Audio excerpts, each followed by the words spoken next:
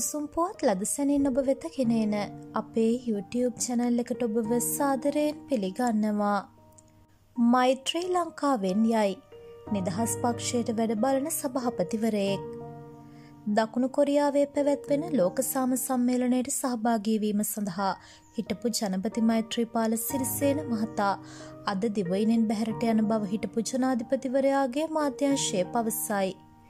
ඒ අනුව ඔහු දිවයිනට යළි පැමිණෙන තෙක් ශ්‍රී ලංකා නිදහස් පක්ෂයේ වැඩබලන සභාපතිවරයා වශයෙන් ශ්‍රී ලංකා නිදහස් පක්ෂ ජේෂ්ඨ උපසභාපති ගාල දිස්ත්‍රික් පාර්ලිමේන්තු මන්ත්‍රී මෙන්ම ගාල දිස්ත්‍රික් නායක ශාන් විජේලාල්ද සිල්වා මහතා පත් කළ බව එම මාධ්‍ය නිවේදනයේ වැඩිදුරටත් දැක්වෙනවා.